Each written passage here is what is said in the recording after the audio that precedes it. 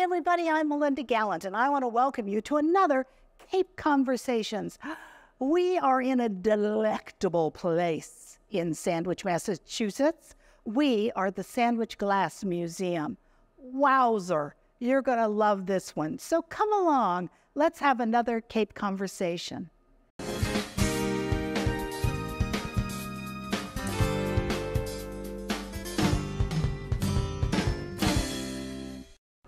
Hi, everybody. I'm Melinda Gallant, and I am sitting in the best museum in Sandwich that's filled with gorgeous glass. And I just want to say at the beginning of this program, it has the very best gift shop around. I can vouch for that. But I am sitting here today with a wonderful person who's the new executive director. And wow, what a nice person. Mary Childs. Nice to see you, Mary. So nice to see you, Melinda. Thank you. Oh my gosh, I'm so excited to be able to sit here in front of the kiln, kind of. It's a little warm. It's off, but it's still warm. Very warm. I don't know how they do this. I don't either. Okay, so Mary, how long have you been in the job?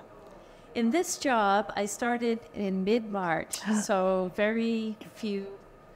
Um, just a few months. Just a few months. yeah. And and where did you come from? Well, I was curator here at the museum Oh, for about a year and a half. uh huh. Prior to that, I was guest curator under Dorothy Schofield. Oh yeah.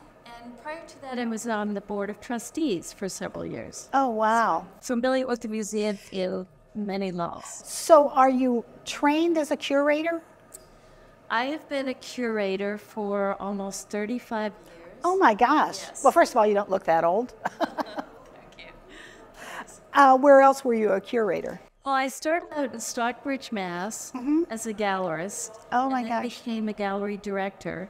And in the course of uh, working in the gallery world, of course, you curate exhibitions all the time. Right. Uh, my last iteration in that field was in St. Petersburg, Florida, where I worked for the Duncan McClellan Gallery. Wow. We curated exhibitions every month, year round, with Wow. speakers and visiting artists from all around the world. Oh wow. That was a big job. Yes. And then you decided to come back to Massachusetts. You did. I did. Well, COVID happened. Yeah, well, um, it happened to all of us. did. Uh, my family's in the Berkshires, mm-hmm. and I was able to. The gallery closed down for a little bit. I was able to come back to the Berkshires, work remotely, uh, continue to develop programming, uh, and then was still a trustee here Oh, at the wow. museum, and watch as the museum gradually reopened as well. Right. Well, and you followed Katie Campbell, beloved Katie Campbell. Yes. Everybody always says, well, we love Katie. She did some wonderful things. she, well, she brought it, in, she, she did, she brought it into the millennium, quite frankly. It was kind of a, an old, dusty, what I would call, and I've been here 40 some years, museum way back when. And, and I think the first thing that I came in and noticed was the gift shop, and she did a great job in, in reestablishing that in a new way. But wow, what you've got going on here now is sensational. I can't believe the children's exhibit is gorgeous. That's a wonderful exhibition, uh, Creatures Great and Small, and it is for artists applying in the New England area. The whole exhibition is uh, an annual theme. Uh-huh. So each artist has created these really whimsical, bright, adorable, uh, intriguing uh, set of creatures. Each one, each artist has approached that in their own way. Well, the one with the bowl of candy and the little mice going into the bowl, bringing out the candy, is about the most adorable thing I've ever seen. So that artist is Katerina Weintraub, and she is from the Boston area. That work is made with a little blowtorch Oh my and a little pipe, and she's created these mice, the little gumdrops. It is adorable. yeah. It is absolutely. love it. Yeah. Well, and as I said when we were we were looking at it, you know, what was amazing to me is there's there's a storyline in each one of those glass scenes, you know. So kids could have fun with parents, you know, on the car ride home. Well, so which one did you like best? Well, what do you think the story was? It could be really a fun time for the families. They come in, it's wonderful. Watch the kids. They run right up to the glass cases. They put their hands on it. They're looking in. Yeah. Yeah, it's really a lot of fun. Spend a lot of time with Windex. but it's okay. Small price to pay. Small price to pay. Well, and the other exhibit just beyond it is gorgeous as well with those beautiful heron. So that is Flyover, and the artist's name is Aaron Lehman. He's uh, based in Salem, Mass, and his studio is in Lowell. Oh my gosh. And each of those birds represents an aerial view of the water and the sandbars and the marsh grasses. You'll see the patterns on their backs. So it's uh, kind of an homage to Cape Cod uh, as a place where migrating birds fly over and take time to rest and before they go. Right, right. Well, it is absolutely stunning. Thank. It's very stunning. So, how did I I don't remember some of the history of the Glass Museum. So, so tell me some of the history. When did it start? I mean, I know that it dealt with the the um, the glass factory that was here and Deming Jarvis and all of that. However, how did the museum come to be? The museum is an upgrowth of the historic, the Sandwich Historical Society, Ah, which started in 1907. And uh, because the Boston and Glass Society uh, factory was such a big part of the development of the town of Sandwich, it seemed to be an obvious way of taking the story of Sandwich and uh, you know preserving this really important part of the development of the town. So we're fortunate enough to have a really extensive collection of glass that was made here at the Boston Sandwich Glass Factory. Um, you'll see it throughout the museum. It's arranged in chronological order for the types of glass that were being produced at different times in the uh, factory's history. We also, in the beginning, um, do little educational uh, vignettes with uh, talk about the chemistry of glass, what glass is made of, you know, the real elements, the sand, the silica, where it came from. Uh, the sand and silica that were used in the Boston and Sandwich glass factory came from two places. One was in the Berkshires and one was in New Jersey. really? The sand here has um, many more uh, minerals that Did not know that. good for the production of uh, glass. Now, when sandwich glass was made way back when, which was in the late 1800s, correct? Well, early through late 1800s. Okay. 1825 to 1888. Okay. And that's when the factory burnt down? Yes. Yeah. And um, at the time, it was just thought of as regular glass. It wasn't, I mean, now it's some of it is priceless, I think, isn't it? Some of it is. You know, some of the rarer items or more complex items um, is very, very valuable.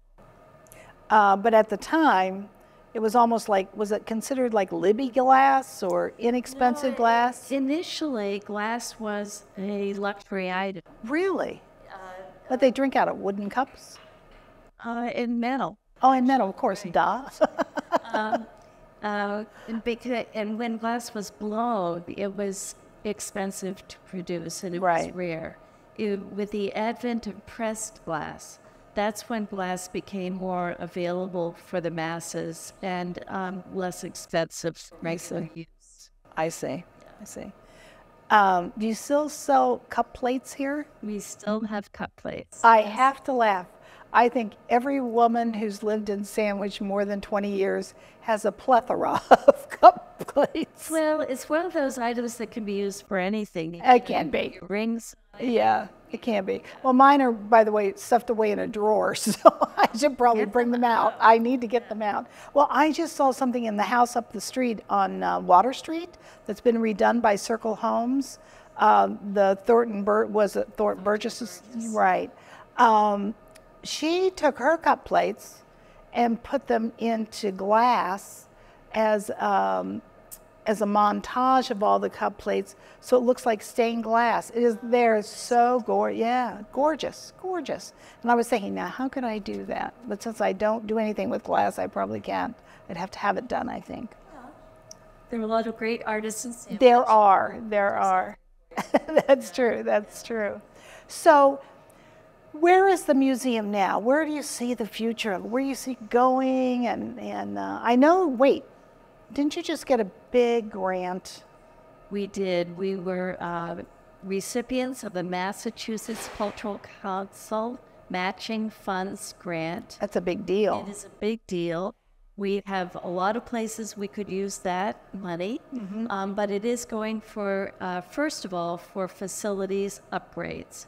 Uh, we have a beautiful old building, needs a lot of tending to. Right. Um, we're fortunate to get this grant because it will enable us to then increase our programming and do uh, lots of different things that we haven't been able to do. But first, we have to take care of the bones. Of sure, the structure. Facility. Sure, yeah. sure. Yeah. So tell me, how does the grant work? Well, it's matching funds. Mm-hmm. So uh, we have at least $140,000 in grant money that we have to match. Mm-hmm. And if anyone would like to donate towards that, You'll uh, take anything. We'll take anything and everything, and every penny is greatly appreciated. Sure. Uh, you can do it online by going to our website, uh, sandwichglassmuseum.org and go to the donate page. Nice. donate right online. Oh, that's wonderful. Make it easy. And every donation that you make is matched, so it's double your donation. Oh, that's great. that's great. That's wonderful. Well, and you know, it's hard for people on the Cape, nonprofits on the Cape, to get that money. To be honest with you, it's rare that it comes this direction. So you're very fortunate that they saw, you know, such a wonderful thing going on here that they should help you with it. Well, thank you. I think you're not only helping the Sandwich Glass Museum, but we are dedicated to strengthening the whole community, mm-hmm. Um, the cultural community and arts community. Mm-hmm. So uh, we feel that for each entity that is strengthened, it strengthens all of us. So, you know, we feel that um, not only are we benefiting from our upgrades, mm-hmm. but it will really uh, help to strengthen the tourism community, the economic community, the artistic community. Oh, wonderful. Sandwich. Yeah, sure.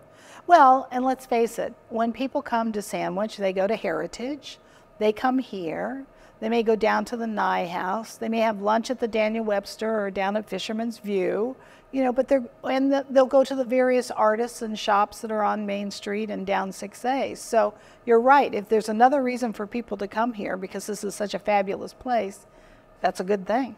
Well, we want them to come and linger, you know, not just come on their way to other places. Sure. You know, so that's part of part of the museum's mission is not just for us, but for the whole community. Sure, sure, that makes sense. Well, you're in the Glasstown Cultural District, yes? We are, yes. Yes, a real, a tight knit area of wonderful, wonderful buildings and, and history here for sure. It's nice being across from the, what I'm going to call the old Sandwich Town Hall. The, the uh, selectmen will shoot me for saying that. they don't like to think of it as the old Sandwich Town Hall, but that's what it is because they have the new one. But um, that must be a great, it's a great vehicle to use as a, as a landmark for you. iconic landmark. Yeah. So, you know, it really anchors this little part of town. It sure does. It sure does. It's exciting what's going on. Sure. So tell me, what else? I, I interrupted you when I asked you your vision. So, what, where, where are you going from here? What do you what do you got planned? We have lots of plans. That's good. Um, you know, the first the first part of the vision is to help educate people about the connection between historic glass and contemporary glass. And that's why uh, the exhibits that you mentioned earlier are so important. The techniques that are used in contemporary glass are the same techniques that were used by the artisans in the Boston Sandwich glass Factory. Really? same basic formulas, same techniques, but you know, you're using the contemporary culture and the contemporary way of living and interpreting glass in a different way. So, the first thing we want to try to help people understand is that glass is a living art form. When the artisans were working in the glass factory, they were work, you know, there were real people creating work just like the artists today. They were in there Mm-hmm. with their medium, you know, trying to figure out how to make beautiful, Mm-hmm. exciting objects. And so there's a relationship between that and what is happening today in the contemporary glass world. So that's the first part of our vision. Um, the sec, one of the ways of doing that is to bring in guest artists Mhm. to speak. And so with each exhibition opening, we've had these artists speaking, and that's always really exciting to share about how they do things. Um, we are also starting our lecture series in the fall. Um, Elizabeth Friend is coming, uh, Jim Coogan, uh, some other writers. God, we all here in town love Jim Coogan. Well, he's they're they're all wonderful. Um, but also, we were just contacted by a professor in California who was writing about one of our historical uh, characters whose collections we have. Oh my! Was, uh, let's see, she was one of the first women to navigate a whaling ship back from the Pacific when her husband died. Yeah. And so I was just, I just received a call from a professor in California who's writing a book about women who do extraordinary things. Wow. She's willing to come in September and um, speak as well. Oh, that's wonderful. It will, Well, you have a beautiful auditorium here. it's wonderful. It is a beautiful auditorium. So, starting programming like this, we also have started our glass experience. Oh, please tell me about that. Well, right behind us Right. is the replica replica of a glass furnace as it would have been seen in the factory. Mm-hmm. So, three nights a week, Tuesday, Thursday, and Saturday, you can come and make your own paperweight with our. our I think that is so cool. Yeah. That is so much fun. So you work with a real glass artist, the the, the resident glass artist, I assume. And and what does he have or she have you do? Well, first he walks you through all the steps of making a paperweight to make sure you're safe and comfortable with the space, with your tools. And then You just do it. you dip your rod in the in the glass, uh, pull it pull it out with a blob of glass on the end. It's all hot fiery, ready for you Wow, make your paperweight. And he walks you through the steps. he does. Oh my gosh. So how many people can you do it at here? So how many do you do at a time here? Just two at a time. Unfortunately, it's kind of small. Right. Um, but your friends and family can come and watch. Right. And we are going to expand that to do groups, still two at a time. But after that, you'll be able to have a glass of wine, maybe get a tour of the yeah, don't have the wine before. You have to do the ones first. that would make sense. And you can register for that online as well. And so has it been popular? We're booked all the way into September. Oh my gosh. Oh, that's great. Well, you know, it'd be a great gift for somebody too. It is. Uh, we've had a lot of lot of mothers and daughters, Mm-hmm. um, families, you know, that come together to do things when they're visiting here on the Cape. Now, one other thing that we do do with children is we use this this press just behind us, Uh-huh. antique glass press, and you can press a sun catcher on that. So that's easier for smaller children. Yeah. For this. Oh, how fun. So you have a lot of things for people to do when they come in. It's just not a static display. Museums are actually, you know, living, breathing entities. They Needs to be thought of as as a place to uh, archive dead objects. But what we're trying to tell people is that the past informs who we are now, Sure. and it's it's a story that is still evolving.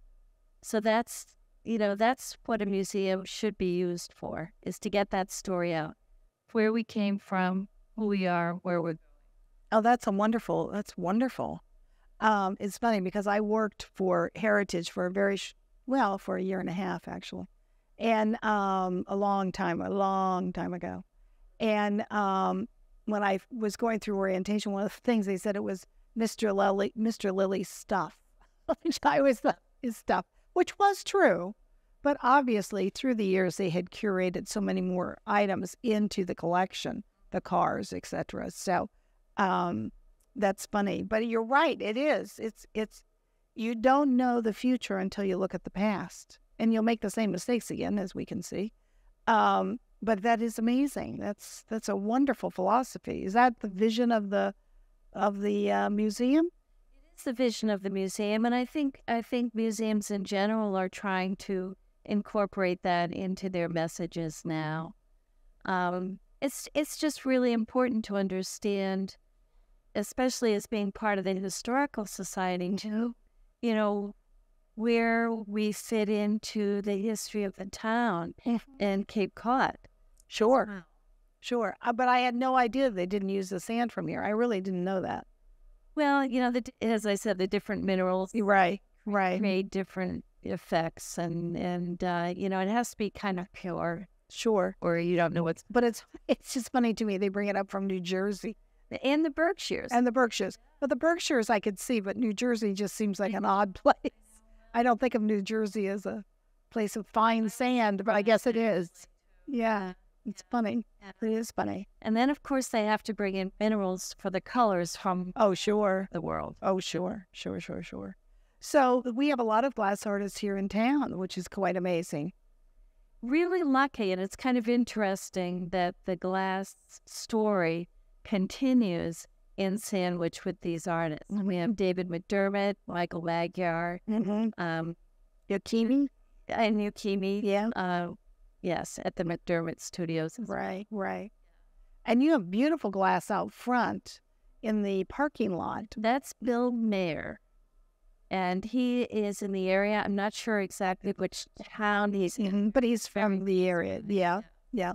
And uh, that is the Glass Garden. Yes, it's beautiful. Here he adds a few pieces. It's really lovely. Yeah, it's great.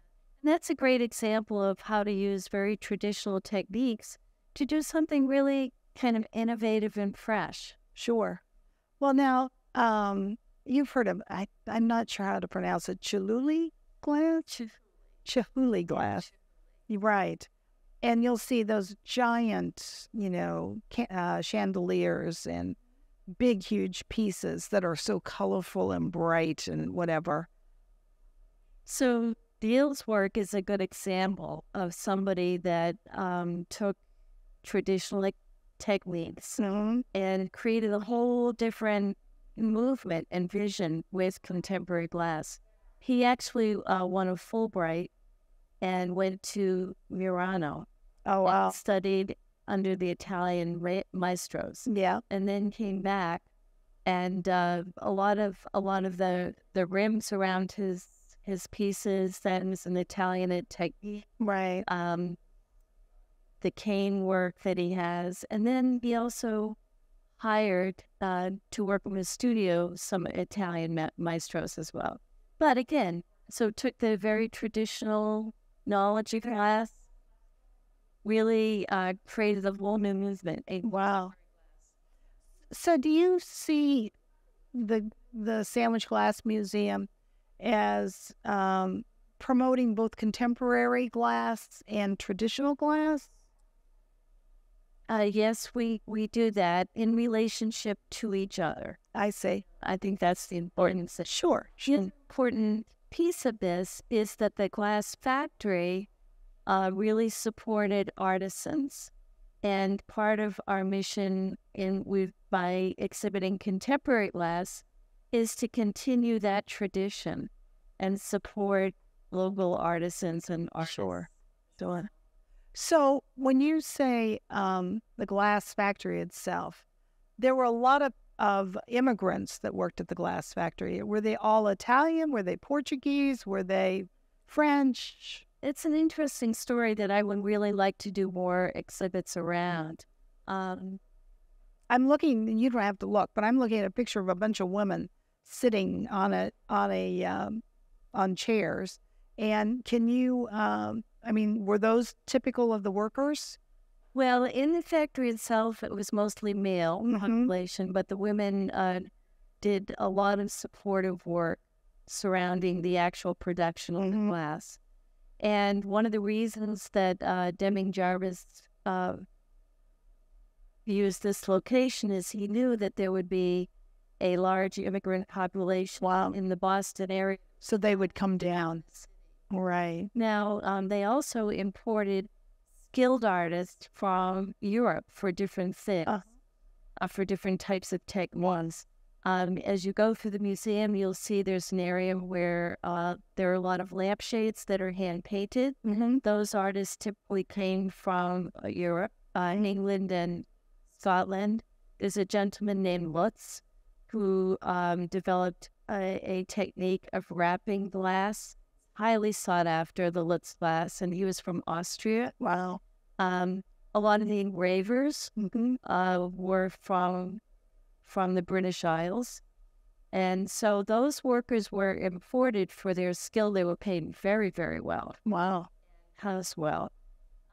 I was going to say the big houses here uh, on in Sandwich around Main Street and down towards the water, towards the um, uh, the Sandwich Boardwalk. A lot of those homes I know were homes at the time of the of the uh, glass factory. Yeah, the uh, factory actually built housing for their workers. Oh my God! Much of Wait, of those homes wait. were built. They thought they had forethought that if you need workers, you need housing. What a thought process! Very good care of their people. That's a great thing. If somebody was widowed, Mhm. they uh, had their housing and uh, food and economic stipends for the rest of their lives. That's amazing. Yeah. That's Yeah. amazing. Well, you are a wealth of knowledge for sure and so fun to talk to.